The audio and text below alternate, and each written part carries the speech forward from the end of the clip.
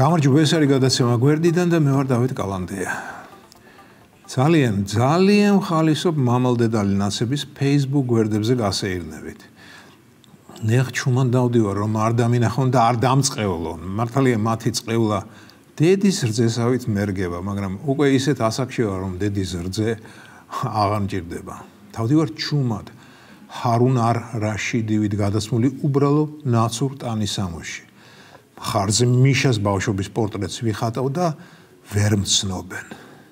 ზოგჯერ ვუკომენტარებ კიდეც, ისე ლაითად ვუკომენტარებ, რაღაცას დავწერ ამ დაგვარს თავისუფლება თავისუფალ მიშას და მე მსიამოვნებს, როდესაც გულებს მისვამენ და მიწერენ, მიშა ყოველთვის თავისუფალი იყო, არის და იქნება კიდეც. მიშა ამოგვიყვანს იმ ჭაობიდან, სადაც ივანიშვილის სისხლიანმა რეჟიმმა მოგვახვედრა. მიშა ერის იმედია. და ასე შემდეგ. მე კი ჩემთვის ვზივარ ხალისობ და ამავე დროს არ ხალისობ ხო და ზუსტად რომ ამ არხალიზმინდა ჩემი წუხილი გამოვთქვა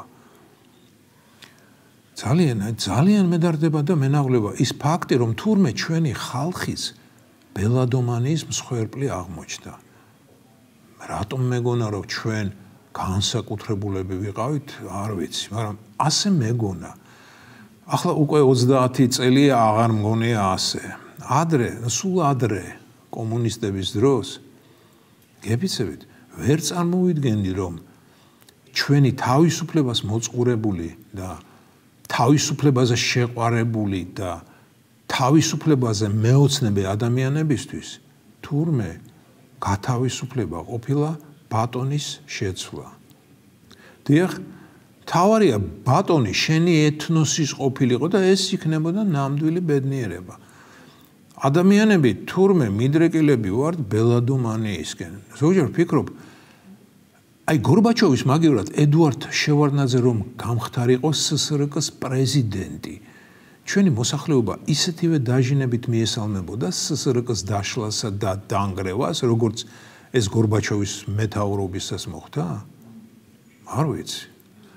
დიდი ხანია ასეთი ბნელი აზრები მიტრიალებს თავში და პასუხს ვერ ვპოულობ მე რამდენად ვეკითხები საკუთარ თავს და არა მხოლოდ საკუთარს. აი მიშა სააკაშვილის გაკერპება როგორ და რატომ მოხდა?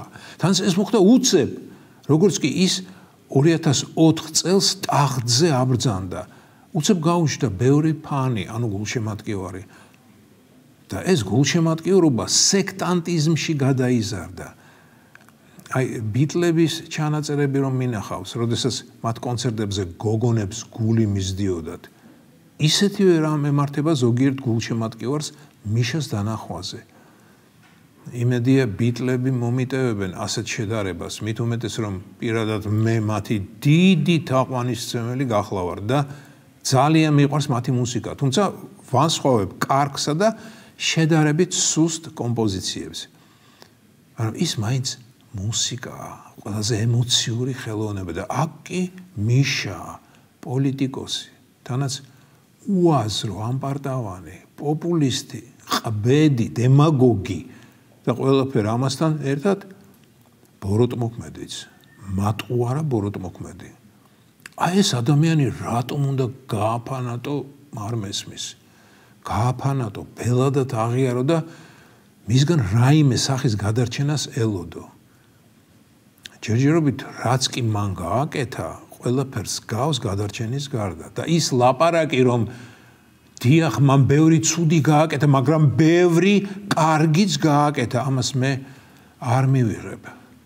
ბევრი კარგის გაკეთება რას გულისხმობს, რომ რამდენიმე გზაზე ასფალტი დააგო და ივანიშვილის ხარჯით ჯარისა და პოლიციის რეფორმა მოახდინა? ხშირად ვისმენ და ვკითხულობ მიშას სიტყვა კაზმულ აზრებს. ამ ბოლო დროს ყველაზე ძლავრი რაც კი მისგან გამიგია. გახსოვთ ის დრო, როდესაც მთავრობა ხალხზე ზრუნავდა და თითოეული ქართველის ბედი გულთან ახლოს მიჰქონდა. ეს ჩემი პრეზიდენტობის დროს ხდებოდაო. თურმე თითოეული ქართველის ბედი მას გულთან მიხონდა.